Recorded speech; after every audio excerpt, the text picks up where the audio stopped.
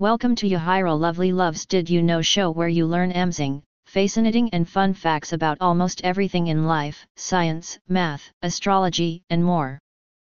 Did you know that? On the month of December of 2021, scientists discovered the footprint of an ancient hominid that lived alongside Lucy the oldest humanoid or female of the hominin species Australopithecus afarensis.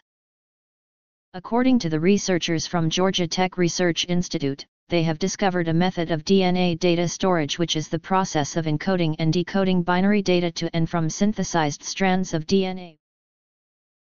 On the month of November in 2021, astronomers reported detecting, in a first-of-its-kind process based on sample analysis at Mars or SAM instruments and found organic molecules, including benzene.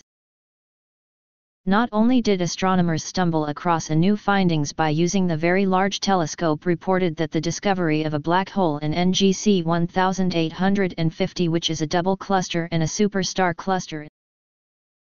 Also on the month of November, scientists revealed the first ever simulation of baryons which is a type of composite subatomic particle which contains an odd number of valence quarks, on a quantum computer was reported by the in addition, scientists found a systematic review and meta-analysis concluded that mask wearing cuts the incidence of COVID-19 by 53%.